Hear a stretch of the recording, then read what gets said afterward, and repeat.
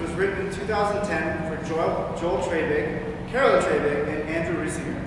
The title of the piece comes from the first two letters of each of their names Joel, J O, Carolyn, C A, and Andrew, and J, Joe So it's not a real word.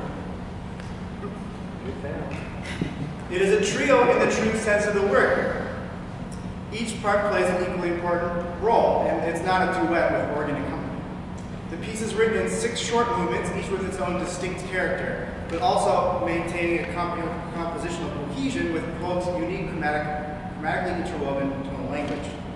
The first and last movement are very similar and serve to bookend the piece, and the middle four movements each explore a different approach to writing for flute, trumpet, and organ. For Jocaan Trio, I will look through the piece through, piece through two different aspects, its color and its composition. This combination of instruments is quite rare, as both trumpet and flute are soprano instruments, and the trumpet is significantly louder than the flutes. So Anthony however, took these challenges and turned them into opportunities to explore various color combinations. The opening of the piece exemplifies how Plog plays with colors throughout the piece. It starts with a cup muted trumpet, flute, and the right hand of the organ playing a unison G, followed by a B flat. The trumpet and flute then diverge on B4, and the organ plays a composite of the other two parts. The result is a collective tone color, eerily beautiful, and difficult to parse who is playing which note. This theme repeatedly returns in the movement, tying it all together. When the movement becomes more energetic in the Allegro vivace section, of the first movement, the trumpet moves to a straight mute, creating a brighter, livelier color. Plog avoids having the muted trumpet and flute play together until the flute is in the extreme upper register to keep them distinct and, to, and balanced. The second movement of Jocaan Trio takes a different tack to explore color possibilities between the three instruments. It utilizes both piccolo trumpet and piccolo flute, with the organ punctuating the melody with staccato syncopated eighth notes. The sparse organ part is helpful to counterbalance the intensity of the piccolo instruments. And though the piccolo flute has no trouble being heard over the piccolo trumpet, Plog wisely keeps them largely playing at different times to avoid a piccolo sonic assault. There is one moment at the end, however, where we get both piccolo instruments playing a lyrical melody at once, while the, while the organ plays pedals in a chaotic chromatic line in the right hand. The resulting swirl of upper register timbres and interweaving chromatic lines is the brilliant apex of this second movement. The third movement changes instrumentation yet again, with the piccolo moving back to flute and the piccolo trumpet moving to flugelhorn. The flugel's warm timbre pairs really well with the flute, but it still runs the risk of engulfing it. So when they play together, Plog keeps the flute well above the flugelhorn range. There is a particularly beautiful cadenza-like duet in the middle of the movement, which beautifully exemplifies his deft orchestration and counterpoint that I think you'll enjoy.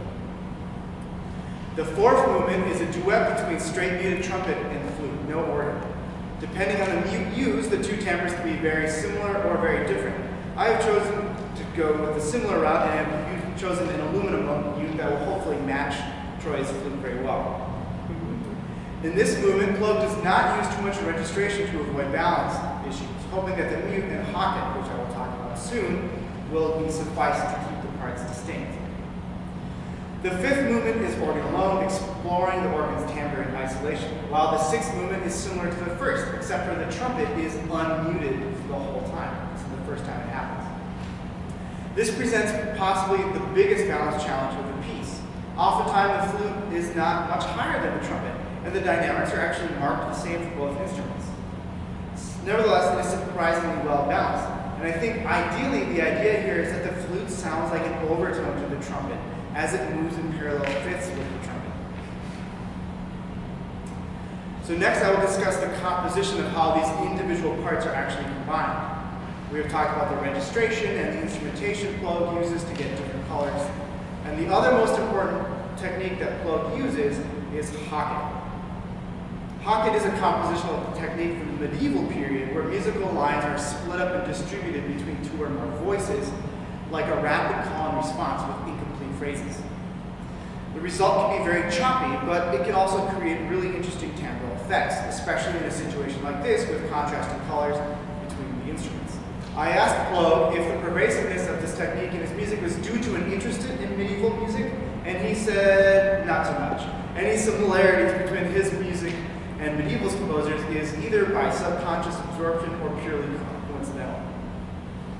The first instance of hocket we see in the Jocaan Trio is in the Allegro vivace section of the first movement, where the organ fills in the rests of the trumpet line.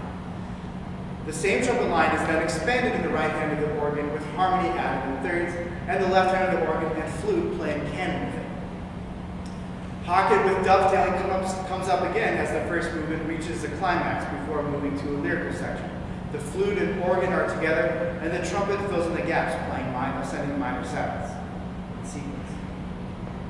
The second movement is where hocket really starts to become the primary compositional technique, compositional technique.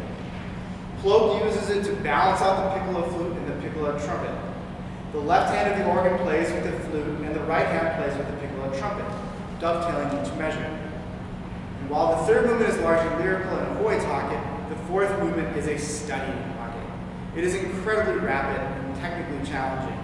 It's reminiscent of a caccia, a medieval song depicting a chase or a hunt that uses hocket and canon. The flute and trumpet often, often fill in each other's lines with just one 16th note. Plog does this unusual technique because it is, well, first musically interesting, and it creates a new color as these, as these instruments interweave with each other. And also because it helps with the balance, since that the trumpet and flute are rarely playing at the same time. The last movement is noticeable in that it does not use hocket as the primary compositional technique. For the first time, the two instruments are homorhythmic. The, hum, the rhythmic consolidation is quite striking and it builds the intensity. It is an effective conclusion to the piece. Jocaan is driven by Plog's desire to explore the different timbral possibilities of the flute, trumpet, and organ. To avoid balance issues, he frequently uses trumpet mutes, writes flute in the upper register, keeps the organ texture sparse, switches instruments to include flugelhorns, piccolo, and piccolo trumpet, and he also writes in a way that keeps the voices from overlapping too much, primarily by using hocket and by giving each instrument a solo movement. With four themes on paintings of Edvard Munch, we saw how Anthony Plog interprets color through Munch's paintings.